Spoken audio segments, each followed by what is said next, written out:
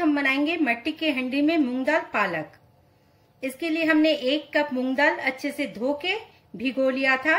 घंटे भर पहले पालक को अच्छे से साफ़ करके इस तरह से बारीक काट लिया है। दाल के ऊपर अब ये पालक कटा हुआ डाल दे। इस पे डाले एक ग्लास पानी। पानी थोड़ा और डाल दे। आधा ग्लास पानी और डाल दिया है। गैस पे इसे चढ़ा दे, इसे गर्म होने दे। स्वाद के अनुसार नमक डाले। नमक बहुत ज़्यादा न डाले। वन चौथाई चम्मच हल्दी पाउडर डाले। इन सबको मिक्स कर ले।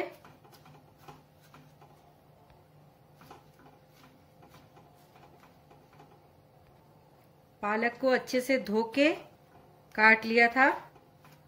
इसमें उबाल आने दे। इसमें आधा ग्लास पानी और डालें। करीब दो ग्लास पानी डाल दिया है हमने। दाल में उबाल आ रहा है। इसमें दो हरी मिर्च, गोटी ही डाल दें।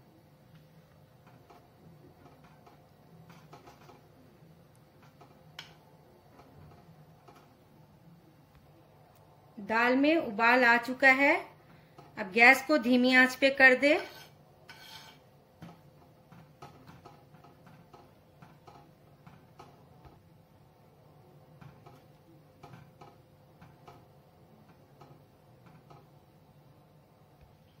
गैस को धीमी आँच पे ही रहने दे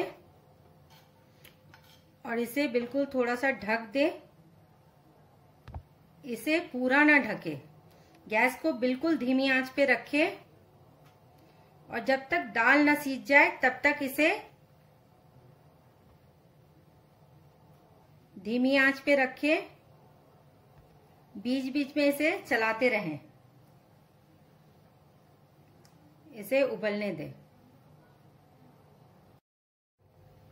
दाल उबल चुकी है। ये देखिए अब इसमें ये थोड़ी दाल घोटनी से घोट दे, हल्का सा। दाल इस तरह से हो गई है। अब इसमें तड़का लगाने के लिए हम तैयारी कर लेते हैं। इसे आप साइड में रख दे। तड़का के लिए दो चम्मच घी गरम करने चढ़ा दिया है। घी गरम हो चुका है। अब इसमें ये आधा चम्मच जीरा डालें। जीरा का कलर चेंज हो चुका है। इसमें दो टीस्पून लहसुन कटा हुआ डाल दे। लहसुन को बारीक बारीक काट लिया है हमने। लहसुन का कलर चेंज होने दे। इसमें एक लौंग डाल दे। वन चौथाई चम्मच हींग डाले।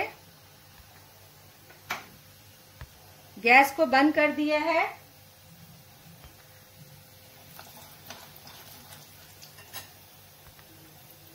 अब इसमें ये लाल मिर्च और ये पानी डाल दें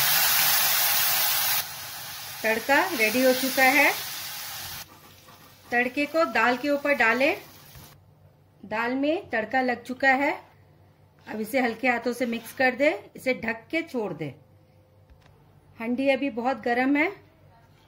इसे ढक के इसी में छोड़ दे। हंडी वाली पालक दाल रेडी है। इसे गर्मा गर्म रोटियों के साथ सर्व करें।